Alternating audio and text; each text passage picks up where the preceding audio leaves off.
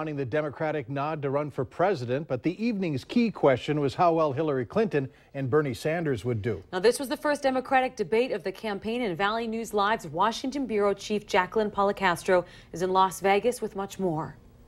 This is where the post-debate frenzy is happening. Here are some of the biggest moments from tonight's first Democratic primary debate.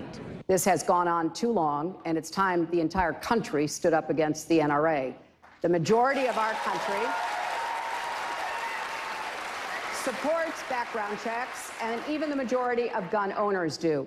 We do need background checks. We need to keep the people who should not have guns away from them, but we have to respect the tradition in this country of people who want to defend themselves and their family from violence. And I will do everything that I can to make sure that the United States does not get involved in another quagmire like we did in Iraq, the worst foreign policy blunder in the history of this country.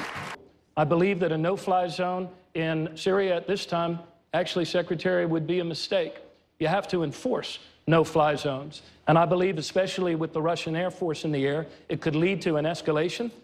I have not changed on the issues.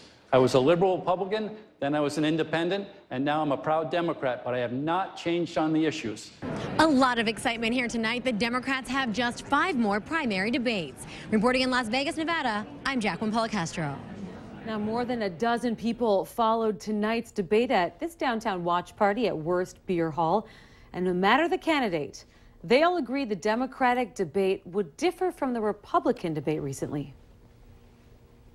We are not in this to attack anybody. We're not in this to um, further any one particular person or one particular issue. We're really in this to help the people that we represent every day. And that's the most important thing that we can do as a party. Recent polls show Clinton still leads the pack with Bernie Sanders coming in at second and the undecided Joe Biden in third.